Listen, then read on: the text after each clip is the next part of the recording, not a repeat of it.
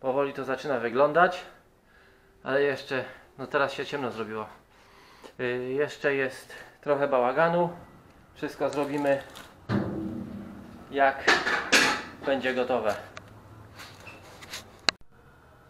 Witajcie. Pamiętacie jak to wyglądało? No to zobaczcie co z kolegą zrobiliśmy. Tutaj około 40 takich tłumików. Plątanina rur, bardzo sympatyczna. Tutaj to samo podłączenie. Wszystko to jest klimatyzacja, wentylacja do, do mieszkań. Tu jest ta centrala. To, to są te rury, które na początku y, montowaliśmy jako pierwsze. No i tu kolejna zabawa. Tak to wygląda. Gdzie tu położyliśmy palety, bo nie ma jak chodzić. O, tu kolejne wpięcie całe i tu następne. I to jest to, od czego zaczynaliśmy. Tak to wszystko wygląda. Powpinane, porobione jak trzeba. No, także widzicie kawał roboty. Zajęło nam to około tygodnia, można powiedzieć. Mnóstwo, mnóstwo pracy naprawdę. Najgorsze było w tym wszystkim to, że nie było się jak wyprostować. Przez tydzień robiliśmy albo na czworaka, tam zwłaszcza w tam między, między te tłumiki nie szło się zmieścić, albo na klęcząco, ponieważ nie ma jak się wyprostować pod kanałem. Także praca bardzo ciężka. No nikt tego nie doceni, nie o to chodzi. Ale, ale widzicie, taka, taka fajna ciekawostka. Tam jest szacht, nie wiem czy go będzie widać. Nie widać tam. Końca nie ma, ale jest. No, to to w każdym razie tak wygląda zakończenie montażu centrali wentylacyjnej. Yy, tu, tu jest kanał yy, wylotowy. Tamten drugi głębiej to jest dolotowy na świeże powietrze. I, I tak to wygląda. Tu jeszcze mamy drobiazgi do skończenia, bo tu jest taka kratka tutaj do zasysania powietrza z zewnątrz. Trzeba ją po prostu zamknąć, żeby tu ptaki żadne się nie dostawały. Ani takie, tak, takie różne tam inne zwierzuchy. Bo tu jak zobaczycie z tej strony jest taka siateczka. No i tak, tak to wygląda. No, to na dzisiaj tyle, jeśli chodzi o montaż. Macie próbkę tego co robimy. Także takie fajne różne cuda przejścia.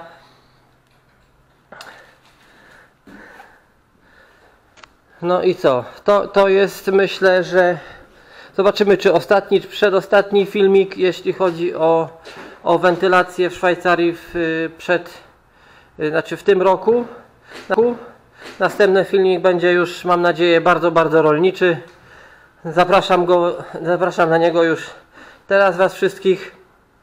No i, i do zobaczenia już yy, w ciągniku. Yy, będzie to przejazd yy, Ursusem C325 na pole. No i tam zaczepienie przyczepki, załadunek drewna. No i przyjazd. Także trochę pojeździmy, zobaczymy. No to tyle. Trzymajcie się. Do zobaczenia. Cześć.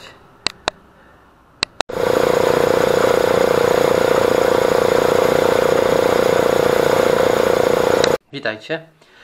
Dzisiaj chciałem Wam pokazać jeszcze oprócz yy, yy, zakończenia tej centrali, którą przed chwilą widzieliście, yy, taką książkę. Kupiłem ją parę tygodni temu. Żyj jak rolnik, 100 sposobów jak żyć w zgodzie z naturą. Yy, muszę powiedzieć, że książka jest naprawdę bardzo yy, ładnie wydana. Yy, ładne są zdjęcia, y, dobry papier, takie, takie grube te kartki są, ale oprócz tego wszystkiego, że tutaj mamy takie wydawniczo jest naprawdę y, fajna, to słuchajcie, y, y, co tutaj mamy. Mamy tutaj bardzo dużo takich ciekawych rzeczy, które możemy robić sobie y, w domu. Czy, czy jesteśmy mieszkańcami miasta, czy jesteśmy mieszkańcami wsi, to jest bez znaczenia. Tu jest cała masa fajnych sposobów, fajnych przepisów na różne, różne rzeczy, naprawdę. E, A przede wszystkim, e, co, to Wam może tutaj powiem takie, takie rozdziały. Zieloni dobroczyńcy, ogród bez chemii, pozbądź się chwastów, rośliny jadalne, ogród na talerzu, rośliny lecznicze, dzięki nim zachowasz zdrowie, domowe kuracje i lekarstwa, kiszenie i przechowywanie warzyw, rośliny zimą, zbiory przez cały rok, suszenie ziół. Słuchajcie, no to jest y, moim zdaniem naprawdę fajna rzecz. To jest y, tylko w tej chwili y, tak początek, to jest tutaj 7 takich podrozdziałów. Tu mamy jeszcze o zwierzętach, w jaki sposób co, co hodować. Mięso, owoce i warzywa, y, uprawa, odmładzanie roślin, zaszczepianie zrazów, zbierać nasiona, zapylać czy nie, czy wystarczy zdać się na owady, uprawa roślin w y, inspektach i szklarniach. Słuchajcie, mnóstwo, mnóstwo tematów dla i początkujących, i zaawansowanych. Yy, naturalny ogród, yy, zmień trawnik w łąkę, stwórz ogród, w którym zamieszkają ptaki i motyle, planowanie i budowa, yy, parkan z drewna świerkowego, dekoracja krajobrazu, budynki gospodarcze, dawne metody, dlaczego tak ważny jest płodozmian, kompost jako sposób na doskonałą glebę, jak pozbyć się komarów, Y, prąd i pojazdy. Słuchajcie, no y, turbina wiatrowa w gospodarstwie, zapasowe źródła energii elektrycznej na wsi. No naprawdę jest tutaj bardzo, bardzo dużo ciekawych tematów. Y, z częścią się zdążyłem już zapoznać, ale co najważniejsze? Najważniejsze jest to, że jest to napisane naprawdę bardzo, bardzo prostym językiem i bardzo fajnie i łatwo przyswajalnym przez każdego człowieka. Y, dużo, naprawdę bardzo dużo rzeczy. Upiecz chleb na resztkach słodu na przykład. Y, ważenie domowego piwa, piwa. No, no wszystko po prostu tutaj jest w jaki sposób, co można sobie zrobić. Zrób sok z własnych jabłek. Y, słuchajcie, gotuj sok jak za czasów babci. To są ważne rzeczy. Słuchajcie, widziałem na YouTubie taki Y, filmik jednego z y, youtuberów właśnie, który y, zrobił badania, z których wynikało, wynika właściwie, że ma przekroczony czterokrotnie dopuszczalne normy glifosatu w organizmie. No to jest koszmar. Przede wszystkim ja się zastanawiam w ogóle, kto ustalił normy posiadania w organizmie glifosatu. No to jest jakiś żart. Ale ale powiedzmy jest coś takiego i, i co się okazuje? No okazuje się, że to ta żywność, którą kupujemy w sklepach jest coraz gorsza. Właściwie trudno powiedzieć, czy, nazwać, czy to w ogóle jest jeszcze żywność. E, no, absolutnie po prostu to się moim zdaniem nie nadaje do jedzenia. Niestety na razie nie mamy wyboru, ale słuchajcie, yy, optymistyczną wiadomością jest to, że mamy książki. Mamy książki, mamy tą y, wiedzę skąd czerpać i jeżeli macie jakiekolwiek możliwości, macie, nie wiem, y, znajomych na wsi, sąsiadów, y, czy, czy, czy, mieszkacie powiedzmy nawet w mieście, macie jakiś tam ogródek koło domu, czy cokolwiek, nawet jak nie macie, mieszkacie w bloku, to coś tam zawsze możecie sobie zrobić. Tu ta książka Wam o tym może opowiedzieć. Tutaj jest akurat rozdział Ścinaj drzewa jak rolnik, bo, bo no musicie wiedzieć, że, że my nie kupujemy y, drzewa y, powiedzmy od, handlarza, prawda? Tylko y, sami występujemy do, do leśnika, jeżeli po prostu ktoś nie ma lasu własnego, ale występujemy do leśnika o to, o pozwolenie na wycięcie drzewa, dostajemy tak zwaną działkę i wtedy sami to tniemy, wszystko suszymy i, i, i się zaopatrujemy w to drewno. W każdym razie tak to wygląda podgrzewanie wody na dachu, słuchajcie, no to są akurat panele, panele solarne jakieś, baterie, yy, no dużo, dużo fajnych rzeczy, naprawdę. Prąd yy, z promieni słonecznych, też to jest świetny temat i powiem Wam, że w przyszłości na pewno się za to wezmę, ale nieco, nieco yy, inaczej, ponieważ wiadomo, firmy, które powiedzmy to montują, no to no to to są naprawdę rzeczy bardzo drogie, natomiast są sposoby w jaki sposób, y, są sposoby, przepraszam, i możliwości, aby te panele solarne wykonać naprawdę bardzo, bardzo tanio. Takich y, filmików jest y, mnóstwo na internecie, można sobie y, z tym poradzić. O, słuchajcie, tu spawanie na własne potrzeby. Też oczywiście się nauczyłem spawania, nie wiem, czułem spawania, nie wiem czy widzieliście, czy to było przy Was, ale, ale się nauczyłem. Yy, przyczepę w jakiś sposób, jakiś ciągniczek powiedzmy, jak ktoś tam yy, chce, potrzebuje do gospodarstwa. Yy, turbina wiatrowa w gos- gospodarstwie, świetny pomysł, naprawdę rewelacja. Pamiętajcie tylko o tym, że turbina, żeby nie, moje zdanie y, prywatne takie, to y, turbina wytwarza y, pole elektromagnetyczne dosyć silne, więc żeby po prostu nie przesadzić y, z, z, tym, z, z tym prądem, po prostu żeby tego, y, wyprodukować go tyle za pomocą tej turbiny, ile nam zupełnie wystarczy. Tutaj nawet słuchajcie, w jaki sposób jest, y, jakie tutaj są, widzę, nawet podane wymagania albo jakieś wskazówki. W Polsce z artykułu ustawy Prawa budowlanego podania budowlane nie wymaga się prowadzenia robót budowlanych w zakresie montażu urządzeń o zainstalowanej mocy elektrycznej do 40 kW oraz gdy wysokość urządzenia nie przekracza 3 metrów. No i tu już mamy w tym momencie odpowiedź. Budujemy urządzenie do 3 metrów. Wytwarzamy sobie powiedzmy prąd na własne potrzeby.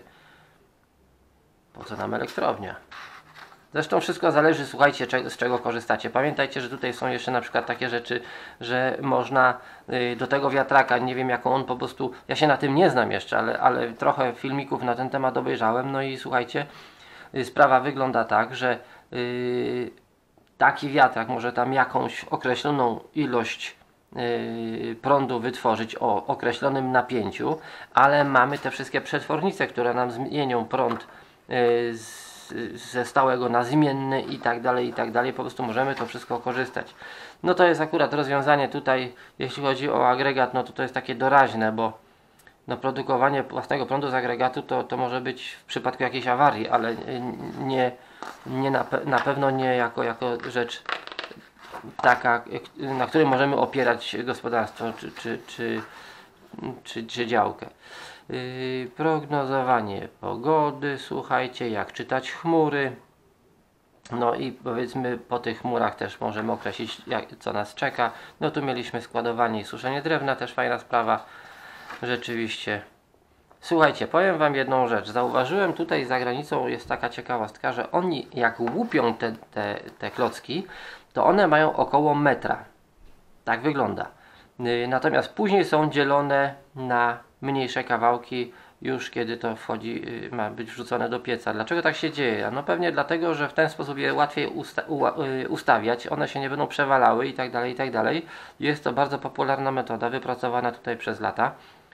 U nas widziałem właśnie częściej tak, takie małe, krótkie kawałki, powiedzmy 30-40 cm, czasami 20, to zależy kto ma jaki piecyk, ale, ale tak to wygląda. Tutaj na tym zdjęciu widać, że, że to jest u nich też taka moda, natomiast Niemcy, Austria i, i Szwajcaria właśnie takie mają te pola na około metrowe. Tu są przykłady y, drzew, y, które y, w jaki sposób się spalają, jak ścinać drzewo, jak przegonić myszy i szczury z gospodarstwa, proszę bardzo. Łapki na muchy, yy, no czy, czy nikt nie będzie biegał za muchą i ją klepał packą ale, ale powiedzmy tutaj ogólnie chodzi o to, że tu są rośliny, w jaki sposób y, pozbyć się właśnie komarów za pomocą roślin. Wystarczy to po prostu posadzić dookoła domu, posiać y, i, i będzie spokój. Y, ryby w stawach i małych ciekach wodnych. No to jest świetna rzecz. Słuchajcie, miałem taki plan, ponieważ u mnie przez, y, przez pole tam mam kilka takich Y, rowów biegnących, muszę, coś, muszę je poczyścić, to Wam chyba o tym już mówiłem, o, o, pokazywałem, ale jest jeden taki rów, który jest dosyć głęboki, ja go zresztą nazywam głębokim rowem i tam zawsze płynęła woda i to dosyć mocny strumień, taki wartki był. No i co się okazało, słuchajcie, od dwóch lat tam jest sucho i to jest właśnie ta cała susza, która nas yy, tutaj męczy Yy, miałem plan właśnie zrobić yy, przede wszystkim taką turbinkę wodną w, tej, w tym rowie, no ale w tej sytuacji yy, muszę te plany zweryfikować. Oprócz tego miałem zamiar właśnie tam coś po prostu zapuścić, jakąś rybę albo coś takiego. Zresztą nie wiem czy tam były ryby, bo nawet nie zdążyłem się zorientować. No ale, ale susza, słuchajcie, no i teraz jakieś sposoby zapobiegania suszy na pewno też trzeba coś wymyślić. O, łowienie raków, słuchajcie, no nie wiem. I tu jest od razu gotowanie raków. No. Zamiast kupować, ulepszaj ziemię, proszę bardzo. Yy, co tu mamy? Jesienią spadają liście.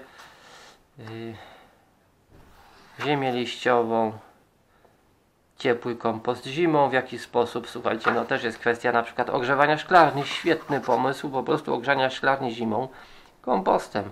Też na tym myślę właśnie, żeby postawić dwie takie, może trzy takie szklarnie, foliaki, coś w tym stylu i tam zrobić kompostowniki ciepłe. No one, słuchajcie, wytwarzają tak potężną temperaturę, że jest po prostu w szklarni gorąco. Może być y, na zewnątrz nawet minus 15 czy 20 stopni, w środku w szklarni naprawdę będzie, nie wiem, z 20. Po prostu yy, jest, słuchaj, jeżeli chcecie sprawdzić jak wygląda yy, gorący kompost, jeżeli macie tam trawniki i tak dalej, i dalej, i zwykłą kosiarką, bo ja nie mówię tutaj o, o rolnikach, którzy tam mają ileś hektarów yy, łąk czy czegoś, ale zwykła kosiarka, powiedzmy jak nawet koło domu skosicie trawę, to macie kosz. No to teraz po skoszeniu trawy włóżcie rękę w tą trawę. Zobaczycie jaką ona wytwarza natychmiast temperaturę i ta temperatura bardzo długo się utrzymuje, zwłaszcza w kompoście. Także yy, takie coś yy, trzeba. Jeszcze muszę po prostu tylko zobaczyć w jaki sposób to zimą zrobić, aby zabezpieczyć sobie tą materię organiczną w tym kompoście, ale myślę, że to też nie będzie zbytnim problemem płodozmian, świetna rzecz, słuchajcie, no wszyscy tam po prostu marudzą, pryskaj y, różnymi środkami i tak dalej, i tak dalej, y, a tu wystarczy po prostu zastosować płodozmian i nie mamy problemu ani z chwastami, ani z patogenami, ani z żadnymi innymi y, dziwnymi rzeczami, które występują w rolnictwie tak zwanym konwencjonalnym gdzie, gdzie ja widzę na przykład u siebie sąsiadów, którzy po, po 5, po 6 lat bez przerwy sieją w tym miejscu to samo, to samo, to samo i, i pryskają, słuchajcie, czym się tylko da. No i rośnie im to jakoś, ale, ale z tej gleby to jest coraz po prostu mniej, coraz gorzej, te piachy po prostu się same zostają i, i, nic z tego nie ma, no i pff, potem to tak smakuje, jak, jak smakuje, no ale, a tu wystarczy naprawdę płodozmian, no taka prosta rzecz. E, impregnat drewna, dziegć, dziegieć, o dziegieć. Słuchajcie, no, bielenie ścian wapnem. Zbuduj wychodek sobie, proszę bardzo. No widzicie, nawet tu wszystko po prostu pokazują w tej książce prosty kurnik. Tu wszystko naprawdę stajnie. No koń, kiedyś wszyscy konie mieli na wsi. Dzisiaj to rzadkość. Ale, ale słuchajcie, no takie podejście do, do życia y, spowoduje, że stajemy się samowystarczalni, słuchajcie. Naprawdę. Las na miarę Twoich yy, potrzeb. Sprawdzone drewno na słupki. Oj, to jest bardzo ważna rzecz, bo, bo wiadomo, że możemy sobie postawić takie drewniane słupki, no i co wtedy? No i wtedy powiedzmy one w przypadku brzozy na przykład zgniją nam po dwóch latach i nie będzie co zbierać. Się rozlecą. Ale na przykład yy, mamy Modrzew. Taki przykład tutaj jest. Mamy yy, dąb. No dąb, dębowe słupki, no to jest fajna sprawa. No ale mówię, jest tutaj dużo rzeczy. Yy, o, rośliny chroniące przed wiatrem, słuchajcie, no co tu mamy? Jakieś yy, brzozy chyba, to tak widzę. No, brzuska sobie rośnie też gęsto przycinać, ona po prostu obrośnie liśćmi. No i mamy yy, świetne osłonięcie od wiatru. Dużo, dużo, słuchajcie, bardzo ciekawa książka. Yy, także, yy, także polecam. Yy, jak, jak powiedzmy, yy, też tutaj są przetwory, jak robić co i tak dalej. Suszona szynka. No dużo, dużo fajnych rzeczy, naprawdę. No, proszę, jaka piękna świnka. Także polecam Wam, możecie sobie tą książkę kupić. Y, jest w internecie do kupienia w tej chwili. Nie pamiętam na jakiej stronie to kupiłem, ale wpiszecie jak żyć, y, żyj jak rolnik i nazwisko y, autora Niklas Kampargard. No i myślę, że to wam, to wam wyjdzie. No to tyle na dzisiaj. W każdym razie pamiętajcie o, o czym pamiętajcie? A nieważne. W każdym razie Zapraszam Was do oglądania moich filmików i jak zwykle trzymajcie się i do zobaczenia. Cześć!